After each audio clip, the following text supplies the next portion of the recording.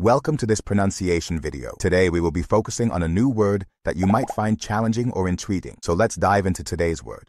Correlaciones, which means Correlaciones refers to relationships or connections between two or more variables. Let's say it all together. Correlaciones. Correlaciones. Correlaciones. One more time. Correlaciones. Correlaciones. Correlaciones.